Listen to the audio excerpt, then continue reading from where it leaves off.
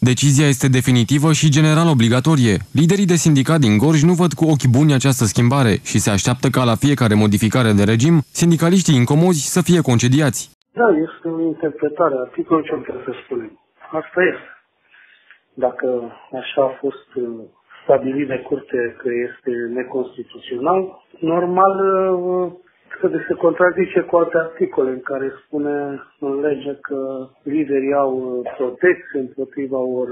Vedeți asta, nu mai e vorba numai, deci e numai vorba de articolul în care vorbește de concedieri co- colective. În rest, uh, rămân aceeași protecție pe care o are liderul în, în alte situații decât cele colective, decât concedierile colective. Credeți că va afecta într-un fel pe viitor asta, ținând cont că sunt tot felul de acuzații, că la fiecare regim care se schimbă poate să fie, fie liderii de sindicat concediați? Da, da, există posibilitatea asta, dar Sper că se va reglementa prin alte articole adiacente care înțeles că confederațiile uh, lucrează la așa ceva, lucrează la o completare și încă câteva articole la care să prevină astfel de practici care s-ar putea să existe.